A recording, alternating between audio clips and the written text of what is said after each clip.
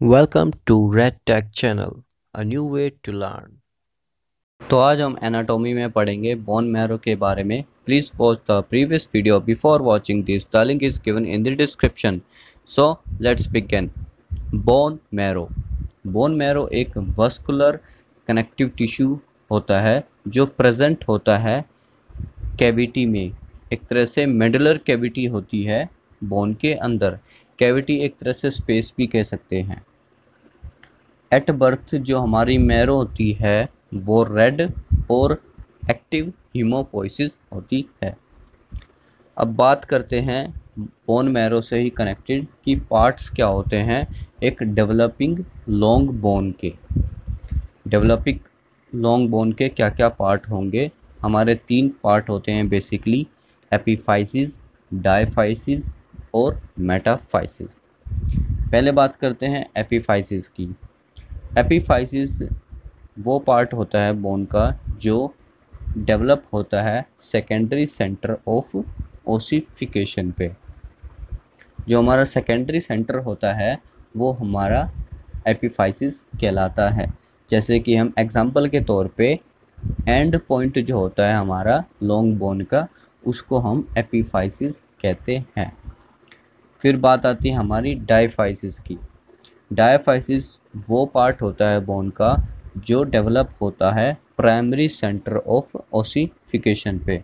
जैसे कि हमारा शेफ्ट होती है लॉन्ग बोन की, यानी कि एक बोन के बीच का हिस्सा जो होता है, उसको हम डायाफाइसिस कहते हैं।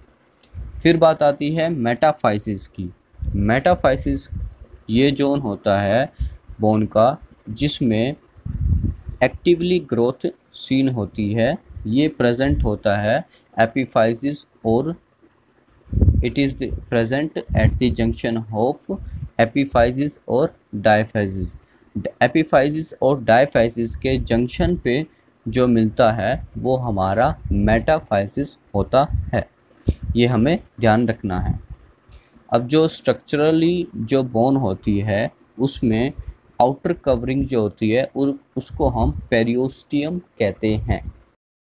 और हम अगर डीपर जाते हैं तो जो हमारी कॉम्पैक्ट बोन होती है, वो मेडअप होती है सीरीज़ ऑफ़ लेमिला के, जो कि कुछ नहीं, बस एक बोनी प्लेट होती है, जो एक कलीग कोलाग फाइबर से बनी होती है। अब जो मैट्रिक्स है, वो कैल्सीफाइड होता है विद कैल्शियम एंड फॉस्फेट इसलिए हम मेनली बोलते हैं बोन में कैल्शियम एंड फॉस्फेट पाया जाता है। जो ओस्टियोब्लास्ट है, वो इमेच्योर बोनी सेल्स होते हैं, जो प्रेजेंट होते हैं पेरियोस्टियम के। पेरियोस्टियम क्या था? एक आउटर कवरिंग थी, एक बोन की, उसको हम पेरियोस्टियम कहते हैं। उसके जो पास पाए जाते हैं, उसको हम ओस्टियोब्लास्ट कहते हैं, जो एक इमेच्योर बोनी सेल्स होते हैं।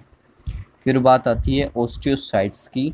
ओस्टियोसाइट्स जो होते हैं, वो मैच्योर्ड बोन सेल्स होते हैं, जो लेमिना के बिटवीन प्रेजेंट होते हैं बीच में।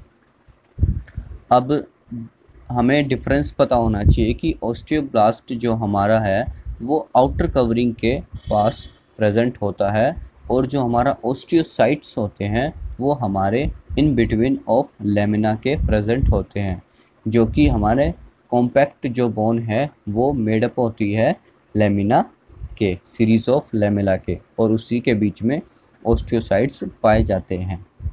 So now here you can see the diagram of the bone upper you can see the secondary centre जो हमने एपीफाइसिस में पढ़ा था, उसको कहते हैं। फिर आता है हमारा डाइफाइसिस जो शेफ्ट होती है जो मिडल पार्ट होता है बोन का उसको हम शेफ्ट बोलते हैं।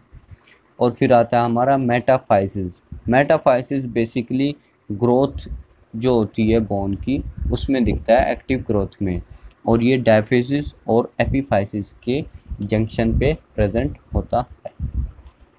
सो so, ये था हमारा बोन मैरो के बारे में। So that's all for this video do subscribe if you like and thanks for watching